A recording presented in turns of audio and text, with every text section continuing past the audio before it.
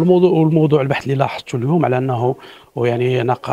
قارب دور المغرب في بناء السلم والأمن في المجال ديال الساحل والصحراء والوضعية الأمنية من خلال تفكيك بنية الوضعية الأمنية أو البنيات الاجتماعية والاقتصادية والسياسية لهذا المجال وتأثيرها على مستوى الاستقرار في هذا المجال والأدوار والتحولات التي أصبح يعيشها المجال في سياق يعني خروج فرنسا وفي سياق واحد الفراغ اللي أصبح المغرب يلعب واحد الدور مهم استثنائي في يعني شغله من خلال آه، المساهمة في بناء الأمن والسلم عبر شراكة اللي هي قوية وملتزمة بل بل اللي ممكن أنها تشكل أرضية لخلق التنمية لهذه المجالات واللي ونعتقد أنه التنمية هي الجواب الحقيقي يعني الوضعيه والمعضله الأمنية التي تعيشها هذه البلدان. بطبيعة الحال إحنا هذه البحوث تساهم في تحقيق تملك أمثل للمجال معرفيا في أفق يعني آه، خلق واحد الأرضية لتقوية الدراسات الصحراوية والدراسات الإفريقية في في في في الجامعة والاشتغال على أن تلعب الجامعة أدوارها الحقيقية في مواكبة الديناميات التي الاستراتيجية